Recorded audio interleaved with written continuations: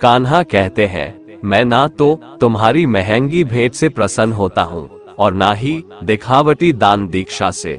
अगर मेरे मन को जीतना है तो मुझे प्रेम से पुकारो, मैं हाजिर हो जाऊँगा। अवास्तविक चीज़ों को लेकर मन में कभी डर पैदा मत होने दो।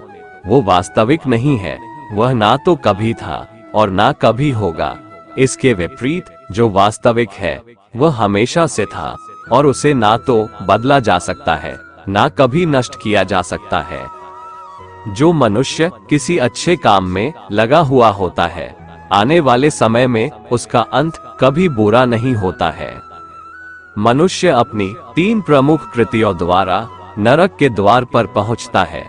वे तीनों कृतियाँ काम, क्रोध और लोभ है। मनुष्य का समस्त निर्माण उसके विश्वास के फलस्वरूप होता है। जैसा वह सोचता है, उसी के अनुरूप वह बनता है। परिवर्तन इस संसार का नियम है। एक क्षण में तुम असीम संपत्ति के मालिक बन सकते हो, दूसरी क्षण में तुम दरिद्र बन सकते हो। किसी से सच्चा प्रेम होना शुद्धता और दिव्यता का प्रतीक है। जो कुछ भी हुआ है, उसमें तेरा कोई योगदान नहीं है, इसलिए तुम्हारी सारी परेशानियाँ व्यर्थ है। हर चीज़ की शुरुआत मुझसे होती है और खत्म भी मुझ पर आकर ही होती है। इंद्रियों से मिलने वाला सुख सच्चा नहीं होता है। इंद्रियों का सुख पहले तुमको अमृत की मिठास देगा, लेकिन बाद में तुम्हारा विनाश कर देगा। कान्हा कहते हैं, हे मानव, तुम अपने जीवन को सार्थक बना सकते हो, लेकिन इसके लिए तुम्हें मेरी शरण में आना पड़ेगा। अगर तुम्हें मेरी बातें अटपटी लगती है तो तुम्हें अपने नज़रिए को बदलने की ज़रूरत है। अभी तुम चीज़ों को उस तरह से नहीं देखते हो, जिस तरह मैं देखता हूँ। अगर एक बार तुमने मुझ पर विश्वास कर लिया तो तुम्हें जीवन में कभी निराश होना नहीं पड़ेगा। एक बार जो मुझ पर विश्वास करता है, उसको मैं कभी छोड़ता नहीं हूँ। जो व्यक्ति मेरे भक्तों के साथ धोखा करता है, उसके लिए मैं सबसे बड़ा शत्रु हूँ। अगर किसी ने मेरे भक्त को एक बार भी धोखा दिया तो जन्मों जन्मों तक मैं उसका उद्धार नहीं करता हूँ। मैं हर दिल को एक मंदिर की तरह देखता हूँ, जो दिल जितना सुंदर होता है, वहाँ मैं उतना ही अधिक ठहरता हूँ। भगवान श्री कृष्ण के चरण कमल इतने पवित्र है कि जो कोई उनकी शरण लेता है, तुरंत शुद्ध हो जाता है। कान्हा आगे कहते हैं, इस दुनिया में तुम प्रेम सभी से करो, लेकिन पूर्ण रूप से विश्वास किसी पर मत करो। अगर तुमको भरोसा करना है तो केवल कृष्ण पर करो। मन बड़ा चंचल है, इसलिए अपने मन को स्थिर रखो, उसको कभी व्यथित मत होने दो। आपने जो कुछ भी किया, वो आपके साथ एक दाग की तरह चलेगा, इसलिए अपने कर्म में शुद्धि लाओ। बुरे विचार मन को दुखी और परेशान कर सकते हैं। लेकिन जब आप कृष्ण में विश्वास करते हैं तो कृष्ण स्वयं आपकी सब परेशानियाँ दूर करने आते हैं। जब तुम शुरुआत करोगे तो स्वाभाविक रूप से तुमको असफलता मिल सकती है। कई बार तुमको गिरना भी पड़ सकता है।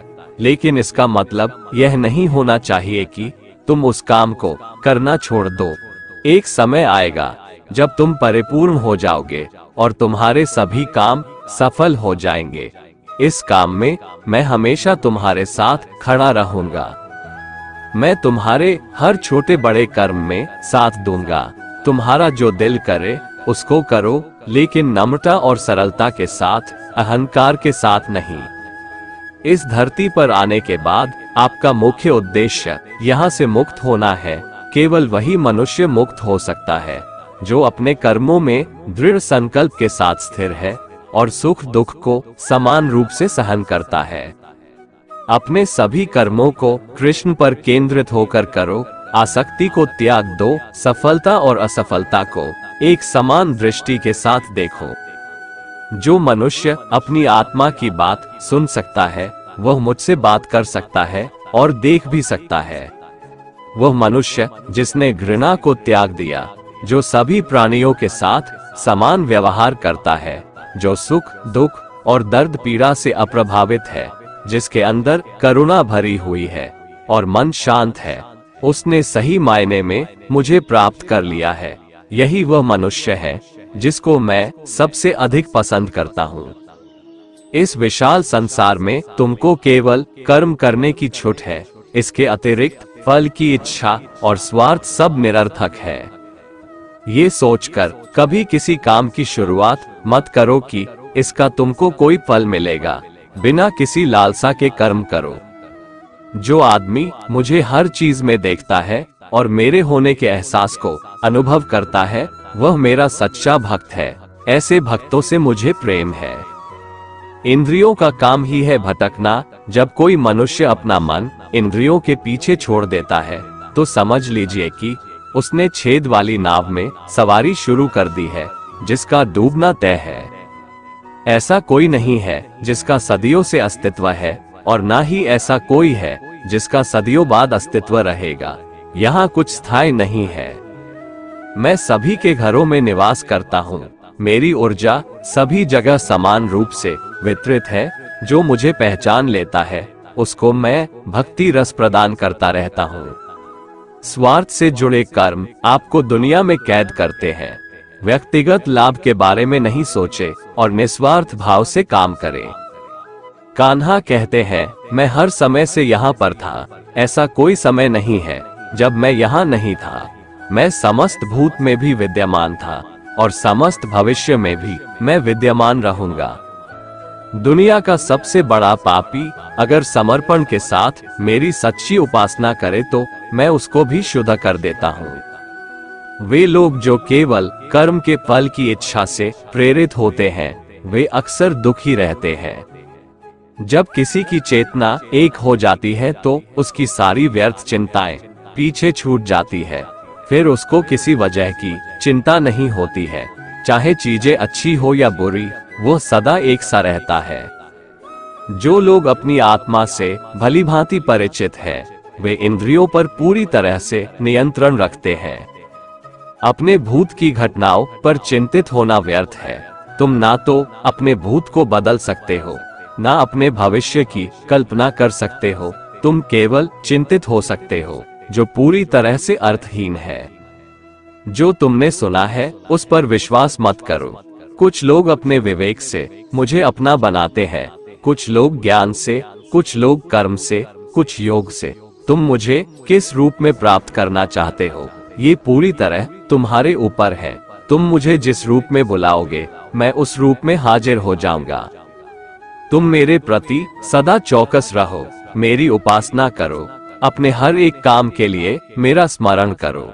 मैं वादा करता हूँ, तुम मेरे प्रिय बने रहोगे। जो मेरे प्रिय हैं, उनको मौत का भय नहीं रहता है। मौत उनके लिए मात्र पुराने वस्त्र उतारने के बराबर है। अपरिपक्व लोग सोचते हैं कि ज्ञान और कर्म अलग अलग है लेकिन बुद्धिमान व्यक्ति उन्हें एक ही मानते हैं। मनुष्य अपना कर्म ज्ञान के अनुसार ही करता है। मृत्यु के समय आत्मा केवल देह को त्यागती है अपना अस्तित्व नहीं इसलिए मृत्यु को लेकर कोई भय पैदा मत करो। जब मनुष्य सांसारिक विषयों के बारे में सोचता है तो आसक्ति आ जाती है। आसक्ति से इच्छा उत्पन्न होती है। इच्छा से वासना उत्पन्न होती है। वासना से क्रोध के बादल उमड़ पड़ते हैं। इसलिए ध्यान को सांसारिक विषयों से हटाकर कृष्ण में लगाओ।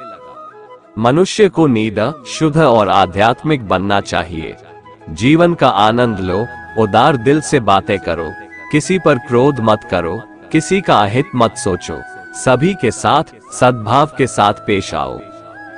कर्म का नियम कहता है कि प्रत्येक घटना का एक कारण और प्रभाव होता है। समान रूप से किए गए कार्य के परिणाम अलग अलग हो सकते हैं। ये केवल इस बात पर निर्भर करता है कि वह कर्म करता किस प्रकार है। जिस प्रकार आग एक लकड़ी को जलाकर राख कर देती है, उसी प्रकार आत्मा ज्ञान आपके अंदर चलने वाले। सभी द्वैत कार्यों को भस्म कर, आपको आंतरिक शांति प्रदान करता है। दोस्तों, आज के लिए बस इतना ही। अगर आपको हमारा ये वीडियो पसंद आया तो कमेंट में जय श्री राधे कृष्ण लिखें। और ऐसे ही प्रेरणादायक वीडियो देखने के लिए हमारे चैनल को सब्सक्राइब कर ले। जय श्री राधे कृष्ण।